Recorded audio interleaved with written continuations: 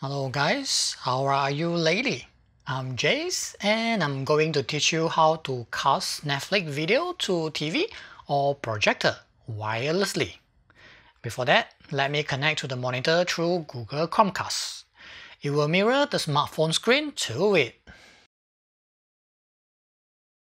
Wireless screen mirroring is working on most TV and projector, as long as they have wireless mirroring function like Miracast and AirPlay. You are good to go. And as you can see, I can mirror YouTube video through wireless easily. Everything is working smooth like butter. Let's try to mirror Netflix video now.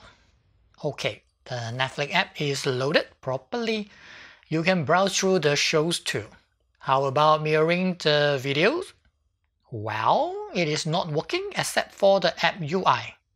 This is due to copyright protection set by Netflix. The same applies to any streaming apps with protection. How to do so then? Simple. You can cast it, but not mirroring it directly.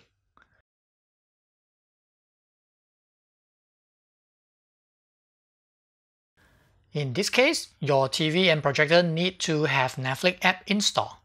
Basically, your phone is acting as a remote control now. It will tell Netflix on your TV to play whatever you want. You will need a TV stick if your TV doesn't support Netflix natively.